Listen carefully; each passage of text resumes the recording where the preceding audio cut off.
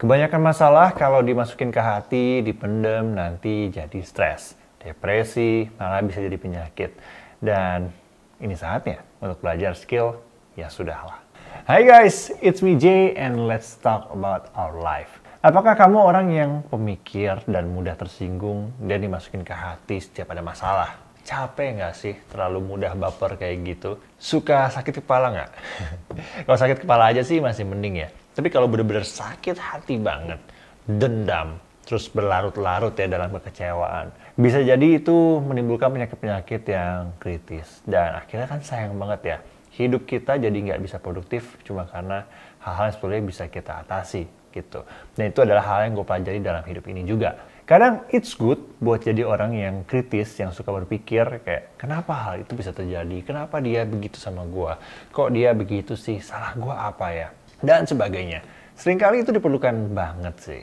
Jadi kita bisa mencari akar permasalahannya dan mencari solusinya juga. Tapi yang gue mau bahas di sini adalah kondisi di mana kalau kamu sedikit-sedikit gampang kecewa sama orang, sedikit-sedikit gampang marah sama orang, sedikit-sedikit gampang tersinggung yang sebetulnya itu malah nyusahin dan ngusak diri sendiri kita, ya kan?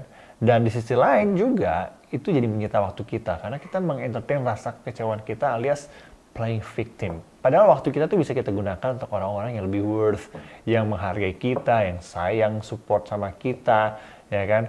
Dan kita bisa melakukan kegiatan-kegiatan yang jauh lebih bermanfaat pastinya daripada hanya memikirkan atau baper-baperan terus. But I know untuk orang yang mudah masuk ke hati itu nggak gampang ya untuk terima kekecewaan dalam hidupnya. Dan by the way yang gue bahas ini in general ya, nggak cuma sakit hati atau baper dari orang lain aja, tapi nggak sedikit kan di antara kita yang suka kecewa dan baper juga bahkan sama diri kita sendiri karena tidak mendapatkan apa yang kita mau kayak jodoh, pekerjaan, project, barang misalnya dan sebagainya. Yang efeknya bikin kita kayak super sad, stress, bahkan playing victim. Capek banget sih itu, ya nggak sih? Nah, gue belajar ilmu, ya sudahlah. Emang ini terkesannya terkesan cuek ya, nggak pedulian. Tapi ya sudahlah itu menurut gue nggak 100% negatif loh. Ada waktu di mana-mana kita perlu banget pakai skill ya sudahlah ini gitu. Fungsinya apa? Fungsinya tentu untuk kesehatan mental, jiwa, dan raga kita sendiri. Dari lingkungan dan orang-orang yang toksik di sekitar kita. Dari lingkungan yang nggak bermanfaat untuk kita. Atau menghindari kita dari baper-baper yang nggak jelas. Misalnya dari komen-komen netizen di media sosial ya yang kita pun sebenarnya nggak kenal sama mereka, mereka juga nggak tahu hidup kita ya kan. Tapi jempol mereka bisa bikin kita stres dan sakit hati, benar nggak? Banyak nggak yang kayak gitu, ya kan? Yang omongan netizen aja dibaperin, ya capek sendirilah ujung-ujungnya. But that's the real life di masa ini guys. Banyak anak-anak muda yang udah stres depresi karena tuntutan atau penilaian dari orang lain. Nggak dikit banyak yang dimasukin ke hati, ya kan? Dikit-dikit dibaperin, ya di sinilah pentingnya untuk belajar ya sudahlah. Ya sudahlah ini semuanya tentang mindset. Jadi kita bisa melawan kebaperan kita itu dengan mindset kita. Pastinya kita perlu belajar untuk menanamkan pikiran-pikiran yang memberikan efek positif untuk diri kita. Misalnya contohnya kayak ah ya sudahlah.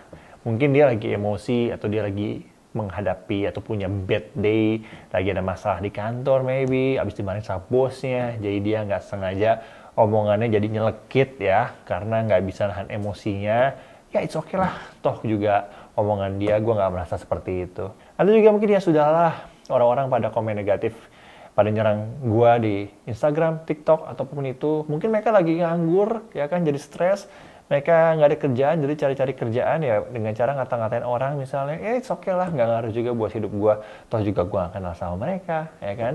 Tapi ya sudahlah dia fitnah gue cukup tahu aja lah ya. Gue mah nggak ambil pusing lah. Orang yang kenal gue juga tahu gimana gue aslinya. Dan gue bersyukur gue jadi tahu karakter dia seperti apa sekarang. Ya sorry kita jaga jarak dan sebagainya.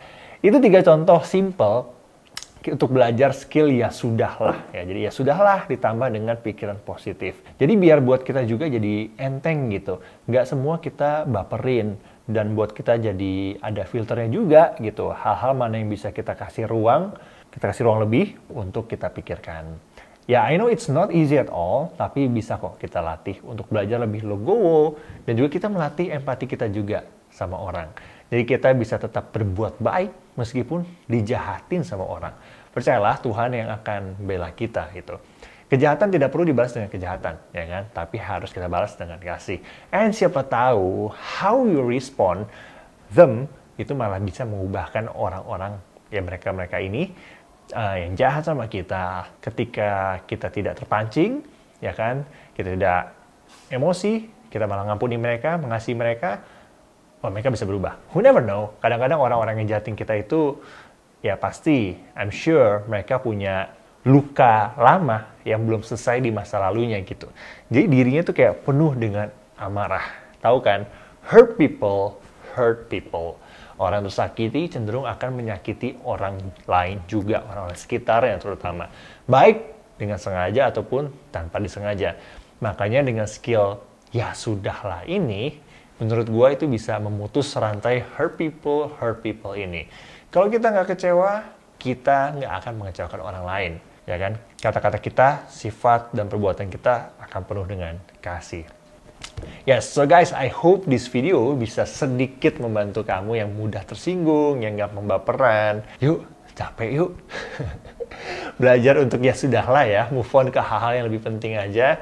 Belajar untuk berempati juga sama orang-orang dan memaklumi orang-orang yang ya yang mereka masih penuh dengan kecewaan, belum bisa terima dirinya, belum bisa terima masa lalunya, belum bisa embrace dirinya apa adanya. Ataupun juga mereka sedang menghadapi hal yang berat, depresi, orang-orang penuh dengan masalah, amarah, ya pasti mereka juga akan jadi toxic, ya kan?